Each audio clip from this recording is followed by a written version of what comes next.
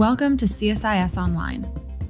The way we bring you events is changing, but we'll still present live analysis and award winning digital media from our Dracopoulos Ideas Lab. All on your time, live or on demand. This is CSIS Online.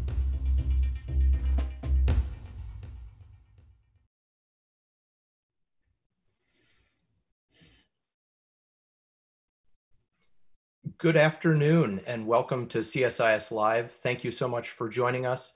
We are privileged to sit down this afternoon with Dr. Enric Sala, who is an explorer in residence at the National Geographic and is the founder of the Pristine Seas Project. And this is a project, if you're not familiar with it, is remarkable, has led to the conservation of over 22 uh, unique uh, largest marine reserves on the world, totaling about 5.8 million square kilometers, larger than the size of the European Union.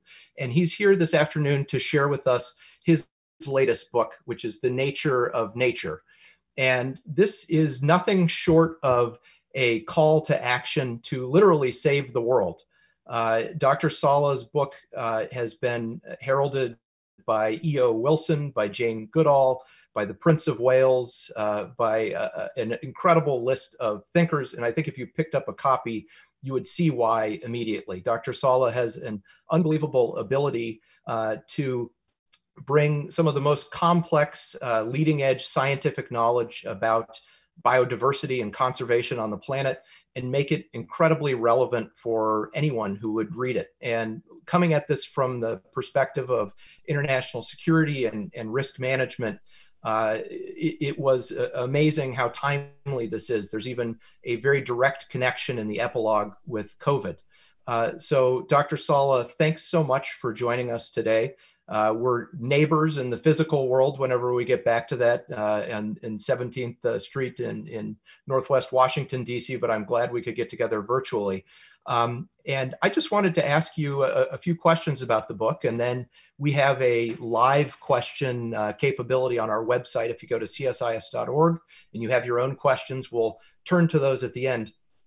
But tell me, Dr. Sala, at the at the outset, what are the key themes I think that that really surprised me maybe in in the book is that the more we learn about how nature works and how biodiversity works, uh, the more fragile we understand everything is. So far from gaining mastery over our environment by understanding it better, we understand, in a sense, how how uh, how interlinked we are with it and how it is beyond our control, and therefore uh, we need to to preserve it. Could you tell us just a, a little bit about how you arrived at the conclusion that you did based on the the science you looked at, and what the implications are for us as a species?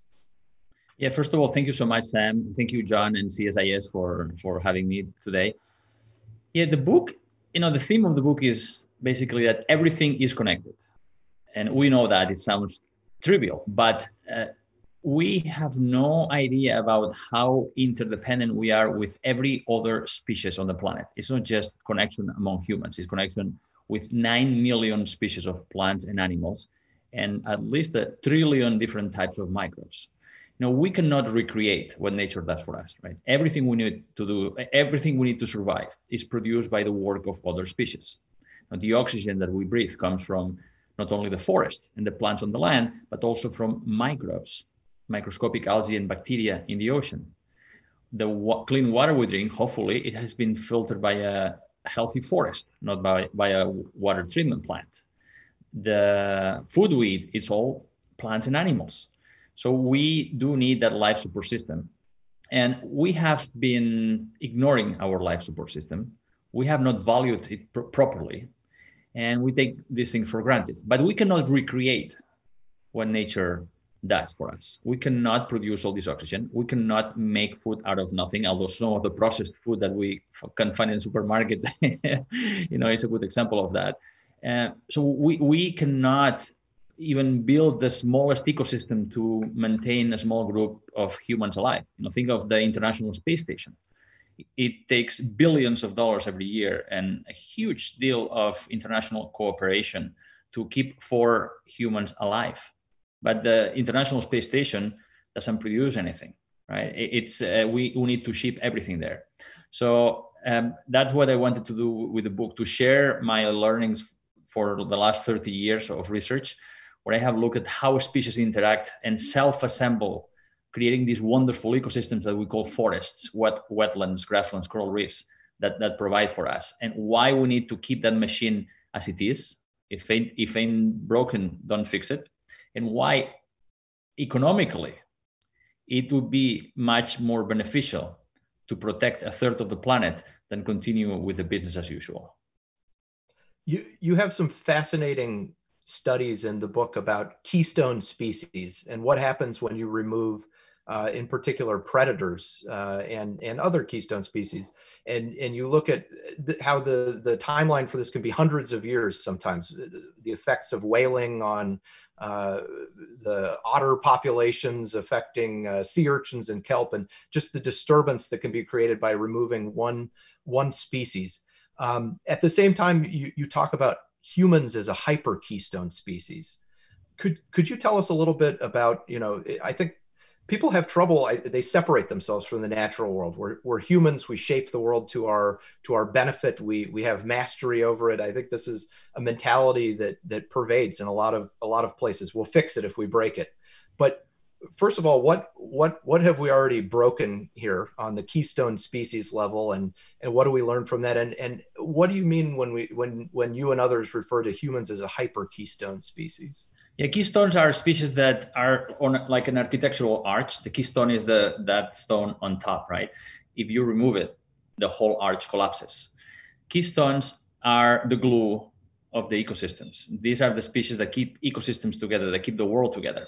An example of removing a keystone species is what happened to us in the eastern United States after the wolf was exterminated from this part of the country.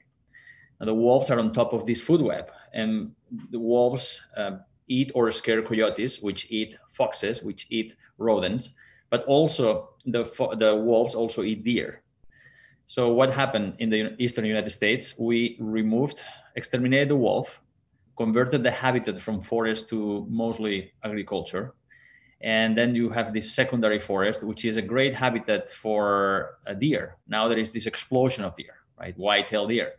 So because the predator is not there. And the deer is the ultimate host for the ticks that give us humans Lyme disease. And that problem is exacerbated because the host of the baby ticks is those little rodents, those little mouse that are much more abundant now because most of the foxes are gone, because the coyotes are abundant, because the wolves are gone. So by removing one species, we have created all these uh, effects in cascade that propagate throughout ecosystems that end up uh, affecting us. So that's one example. And I think that COVID, the COVID pandemic, is the best example we have in recent history of how our tampering with nature is creating a global crisis because everybody is talking about the response to the pandemic and of course we need to make sure that we take care of those in need right now and, and bringing by the economy but the ultimate cause of this pandemic is a virus spilling over from wild animals to humans, creating an outbreak. And thanks to our globalized lifestyle, that spread like wildfire across the world, creating this global pandemic. And today is COVID 19, but yesterday was SARS and Ebola and HIV and many other uh, epidemics and pandemics. So it is our tampering with nature that is creating these global effects that affect not only nature but also people and as we have seen uh, the global economy. So really we're talking about uh, when we look at when we look at nature we're talking about huge cascading risks as we affect biodiversity in different parts of the globe. You you had mentioned before we uh, went live here um, something interesting too about even thinking about the, the effects of, of climate change on precipitation and in part of the world affecting potentially conflict elsewhere. Could you give us that a, example again about, you know, I, I think we really are at a, at a turning point here as we've realized in living in an age of epidemics, the, the, the compression in time of sort of epidemics and pandemics, what we used to call every hundred year, once a century, really isn't anymore. And we see that on, on other scales and climate change and other things. But on the conflict side, there's always been sort of a debate in the international security community to say, can you really prove that environmental damage led to a conflict? And increasingly, the answer seems to be to be yes. And you're giving us a warning here. Absolutely. There's an example in the book. Think about the, the forest, the largest intact forest in Africa, the Congo Basin forest, which is in Gabon, Cameroon, the, uh, Congo, and the uh, DRC. That forest is so rich because it receives so much rain. But the funny thing here is that the forest produces its own rain. In the tropical uh, heat, the trees absorb water from the ground, and thanks to the heat, takes it to the leaves, which evaporate, transpire like, like sweat, like humans. And that water vapor, when it rises and condenses, then falls as rain, which in turn creates a low pressure system that draws moist air from the Atlantic Ocean, which ends up in more rain and so on and so forth. That rain is the rain that waters the highlands of Ethiopia. Without a critical mass in that Congo basin forest, no more rain in the highlands of Ethiopia, which means half of the Nile is born there. And also, it means no more food for Ethiopia. And we all know what happened um, 30 years ago when during that last great fam- famine in, in, Ethiopia.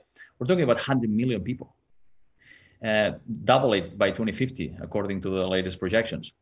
And we all have read the news about the big hydropower dam in, in, the, in Ethiopia that um, Sudan and Egypt are, are so worried about, right? Even Egypt um, threatening with uh, uh, some military intervention. So it is the Congo forest that is providing the water that keeps those countries going. If the forest in the Amazon, if we lost 20% of the current forest, there wouldn't be enough trees to produce that rain. So the forest would turn into a savanna, which means completely destroying the weather patterns in the southern hemisphere. Uh, in the in the Congo basin, we don't know the numbers, but it's probably very similar. So the best thing we can do to uh, prevent you know, one of the potentially major sources of conflict in, in Northern Africa and in Eastern Africa is to keep that Congo basin forest intact. That's why conservation of nature is the smartest and also cheapest investment we can have right now for public health, for a global economic system, and also for global resilience.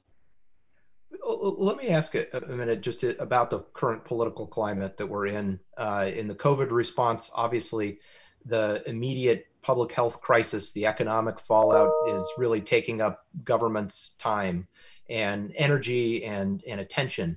And that's especially a shame this year because 2020 was going to be the year of the Convention on Biological Diversity, the first that we'd had, I, I think, in about 20 years of serious note.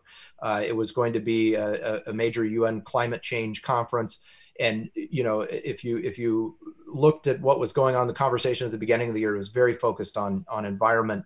Now we're very focused on on both COVID and then a range of social and political issues. We're in a transition year in the in the U.S. Um, what do you think it's going to? How do we how do we get policymakers to to to pay attention to this again? I think I think your book is a great is a great case uh, that's that's made, but um, you have a lot of experience doing this with pristine's uh, with pristine seas. Could you tell us a little bit about you know some of the tools that you've used and, and you think we could use here to make sure that if we get to a stimulus phase after the recovery, we put some money aside for conservation. We we change some of the things that we're doing. Absolutely, and yeah, there's this. Uh, so the World Economic Forum this uh, January came up with a global risk report. Right, the top five risks globally were associated with the loss of biodiversity, the loss of nature, and climate change. But now leaders believe that it's the um, health issues and the recovery of the economy and employment that are the most important issues. But it's all related because again, the, so, the ultimate source of this pandemic is our broken relationship with nature. It's illegal wildlife trade and the destruction of intact habitats, natural ecosystems where these species that carry these viruses live. That you know, the more we encroach upon these intact ecosystems, the, the less we protect, the the easier it is for these viruses to come on our doorstep. So for pristine seas, the, the best formula has been first to reach to the heart of the decision makers and then to the brain. So in the case of pristine seas, we take leaders, country leaders, to the, these wonderful places that are still quite intact. And invariably, they fall in love with these places. Everybody falls in love with a wild natural place. And then when they realize that these places are unique and irreplaceable and that they have to do something about it, then we come with the scientific studies and the economic analysis to justify that uh, intuition, that emotional uh, decision to do something about these places. In this case, I think that leaders around the world have already felt that emotional uh, connection to people because people are dying, people are getting sick. Uh, there is a lot of human drama, right? So I think that that emotional connection is already there. Now, the important thing is to stress the economic argument here. And the question is not, can we afford to protect more of nature? The question has to be, can we afford not to? Because the IMF estimates that the cost of the pandemic is going to be probably $9 trillion in the next couple of years. Well, we released an economic study this year uh, suggesting that protecting a third of the planet would cost, on average, $140 billion that would preserve these intact areas where those species live. And that would reduce the risk of these viruses to come in contact with, with people. The cost would be only a fraction of the benefits. For every dollar that we invest in nature, nature gives us on average $5 in return. In the United States is more. For every dollar that the government invests in our national parks, that generates $10 in economic output that go to to uh, private pockets. The, the returns are extraordinary. And when you look at the growth of the nature conservation uh, areas, like uh, tourism, for example, before COVID, it was growing on average uh, five to six percent every year, while agriculture and, and forestry was growing less than one percent, and fisheries are a shrinking sector; they are declining. Right. So investing in more protection of nature would produce this it's like an insurance premium, but also produce benefits that outweigh the cost by five to one. And also, $140 billion is less than what we spend today, not me, but the world spends today in video games. So it, it just, it, the, the, the numbers are very, very clear, right? What we need is that uh, political leadership right now, not to prop up the industries of the past, that will perpetuate the problem but actually invest in the in the businesses of the future that are going to help us build a, a socioeconomic system that is more resilient because we have been building for unfettered growth based on hyper leverage. And this pandemic has shown it very clearly that our economic system is not resilient. So we better take a you know, hard lesson from from this crisis. And you you make a, a, case in the book as as uh, others have increasingly, I think, over the past few years in looking at issues like economic inequality, but of the use of gross domestic product uh, as a, a, very inaccurate measure of economic growth because you're you're looking you're not looking at what you're spending down that you can't recapitalize. And a lot of that has to do with environmental destruction. You you make that point. Um, so you know we don't price in what we lose uh, because we're not counting its benefit in an accurate way in the economy. Um, we're not we're not counting how offshore uh, ma- or, or, how mangroves have, have, saved us hurricane damage. We're only counting the hurricane damage, and it, it shows up that way increasingly.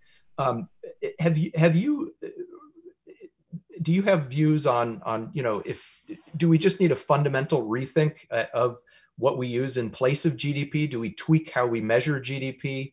Uh, that's that's a little bit where the argument's going on on climate change, of course, with carbon um, and European Union taking taking actions on carbon. But we're just talking about carbon. We're not talking about total environmental damage or or the um, you know accruing benefits of conservation. You could see very high GDPs from countries that don't necessarily produce a lot just by maintaining things. What what do what can we do there? What kind of creative tools and levers might there be? No, you are absolutely right, Sam. GDP doesn't measure what's really important to people, which is uh, health, well-being, happiness. You know, Bhutan has the gross happiness index, and you know this is not something that uh, we just made up. There are Nobel Prize in, in, economics that have been talking about that for, for a long time. Joe Stiglitz, one of them.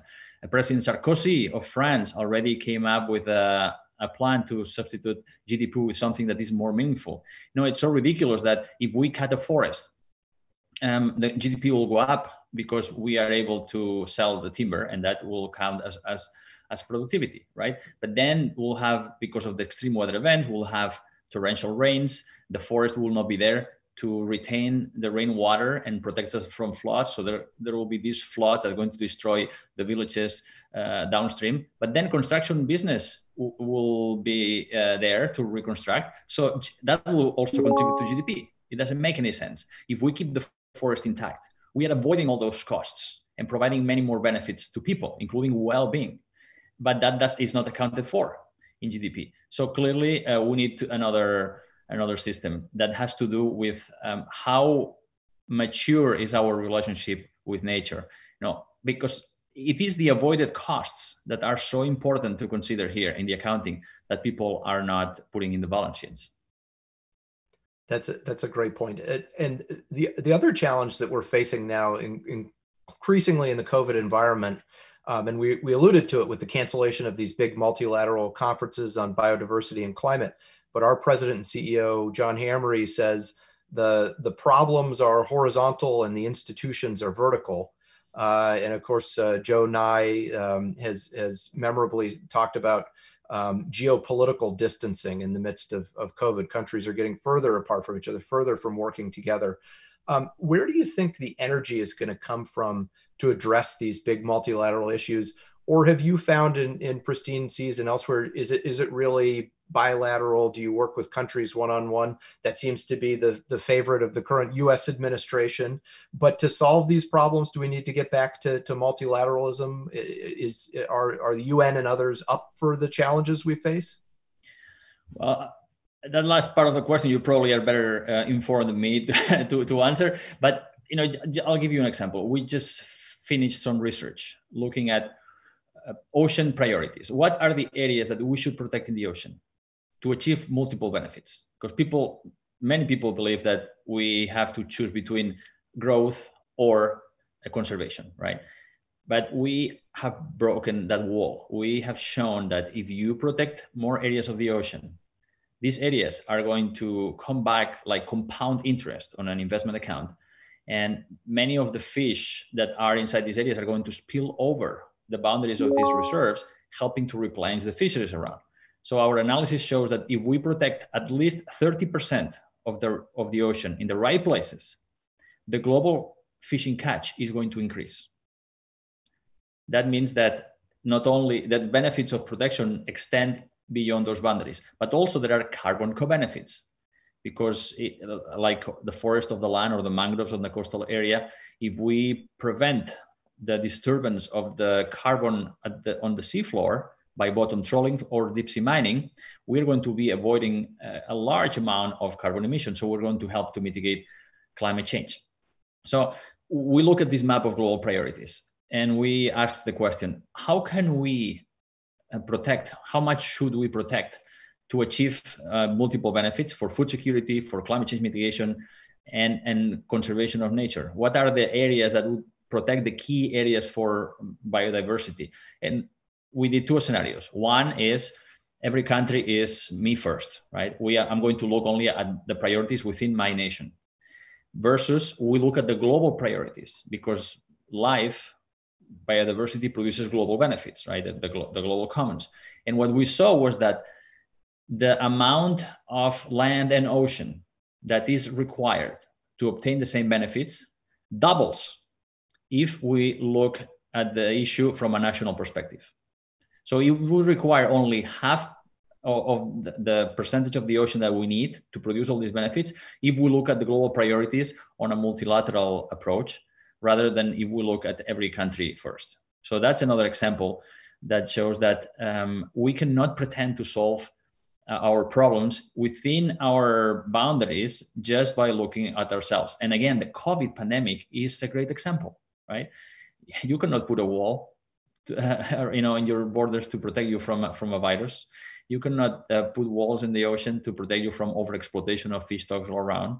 You cannot um, pr- uh, pretend that by building a dam you're going to uh, solve the water availability, the water security issues in your country, because those will depend on a forest that is 2,000 miles away right? So um, definitely, the pandemic is the loudest wake-up call I think in our recent times uh, that prove that there is no other way. We cannot uh, continue with uh, with this um, nationalistic, um, unilateral or bilateral approach. We, we need more than ever to break these silos and bring the climate convention, the biodiversity convention, the World Health Organization working together on an integrated plan because um, that's the that's the way that's the way the work is right now.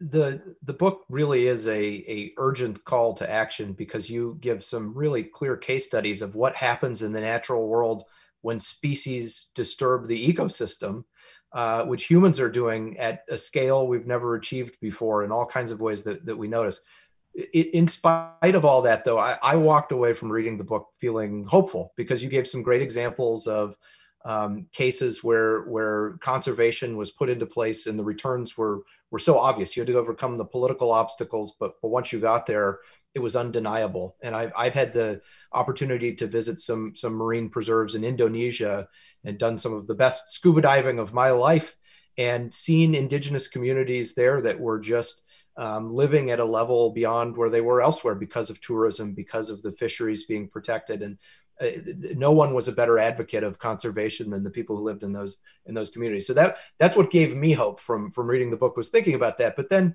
the challenge of scale is is vast. Um, you know, countries like China, you make the point that that maybe at an individual level, meat consumption isn't so problematic, but you multiply that times 1.4 billion and it is an unsustainable scale on on oceans and, and fisheries resources for instance. What what gives you hope though? What what what uh, as you wrote this book uh, did you know i always get this uh, when i give my presentation about trends people say boy i wish you'd build some more hopeful stuff in there. I, th- I think you did a good job of balancing the two but what what stands out to you to give you hope? Yeah, we cannot uh, dwell on the doom and gloom that's for sure. There are two things that give me hope. One is the ability of nature to bounce back. I have been to places in the ocean that were degraded. And after protection from fishing and other damaging activities, marine life comes back spectacularly. Places where the largest fish was about this big now have large groupers and jacks and snappers and sharks. So the, the nature, and especially the ocean, has this extraordinary resilience. And the other one is the example that has been uh, given by some countries. Next year, we have the COP15 of the UN Convention on Biodiversity. This is going to be a historic convention, similar to the Paris climate meeting in 2015. This is the time and the place in Kunming, China, where the world is going to agree on how much more space we are willing to give to nature. And we are National Geographic Society with the Wyss campaign for nature and and other partners, we are working with a series of countries. There are already 30 countries that are uh, targeting 30% of the planet, land and sea, protected by 2030. So th- we want to get this global agreement, this global mandate. But there are countries that have already protected 30% or more of their land and waters. And in the, on, in the ocean, Palau has protected 80% of their waters. Niue in the South Pacific, 40%. Seychelles, 30%, Chile, uh, 42%, and, and, and, and a few more. So it is these leading countries. Most of them are ocean nations with a lot of fishing, but they realize that there is no future to their explo- to their use of uh, nature on land and at sea unless we set aside some principle, some uh, investment accounts that uh, that we can that can produce returns that, that we can enjoy. So that's what gives me hope. Uh, this this example of of living countries and the ability of nature to bounce back. Great, and let me open it to uh, to audience questions. Uh, Christine uh, Brazo, who's helped us put together this whole event, is is helping steer those our our way. I know we got um, a, a, couple uh, in uh, yesterday as as well, um, and if, if people haven't gotten their questions in now, uh, now is the, the time. So please, uh, please let us know what those are. But um, let me ask uh, this, this question. Um, oops, where did it go here? Um,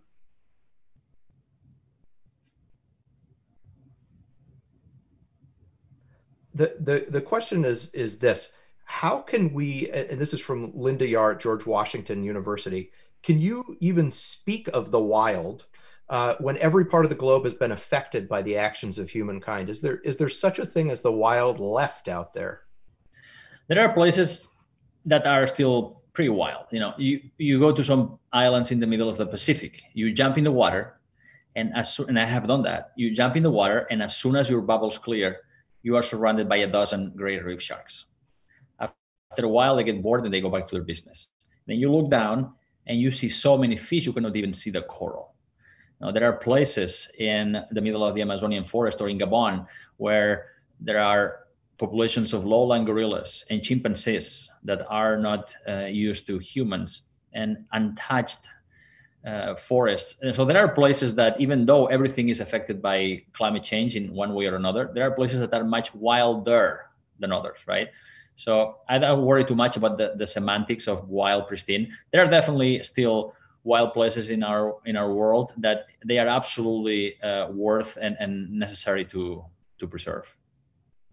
In, something we haven't talked about that comes out in the book is is there's really a, a spiritual element to this, and and I, I noticed uh, Cardinal Turkson is one of the the people who have lent uh, praise to the book. You you thank uh, Pope Francis too um, you you make reference to a lot of uh, indigenous communities, religious traditions that that apply to to nature. Could you talk a, a little bit about the the spiritual case and, and dimension for conservation?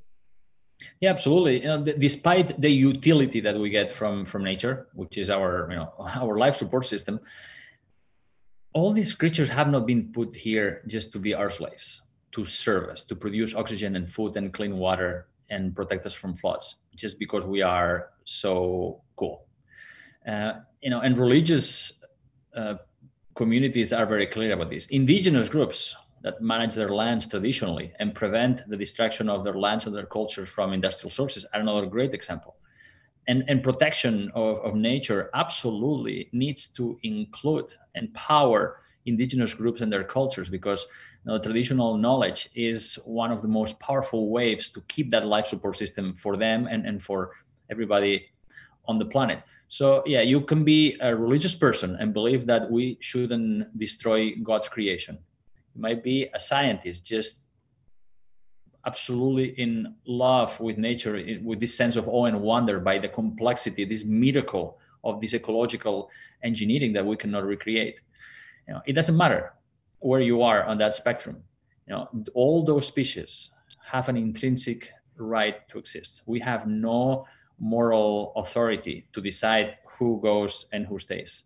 And but even if we are very selfish, even if we just look at uh, for ourselves, we should not tamper with it because we don't know what all these species do, but some of them might be absolutely essential. In, uh, one one example is a very small bacteria, uh, Prochlorococcus, which is a very, very small nanobacteria that produces most of the oxygen, the species that produces more oxygen on the planet. We didn't know about the existence of that bacteria until 30 years ago.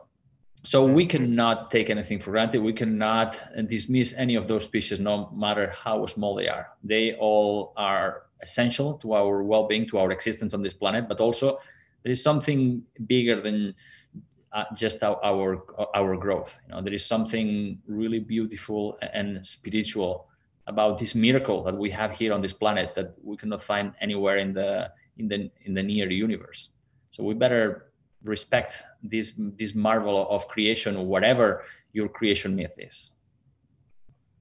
One one other question going back to the issue of of GDP, and this comes from Pilar Vendrell at the in the government of Catalonia um, asks the question of whether you have applied or calculated for any country or bioregion the index you propose, the environmental maturity index. How's it calculated? More information on on that. This sort of uh, you know, is there is there a different form of index we can use to GDP, mentions green GDP, uh, as you'd mentioned, the gross national happiness index and, and others. I, I, think we've covered this a bit, but particularly this issue of the environmental maturity index. What is that and how is, how's that used?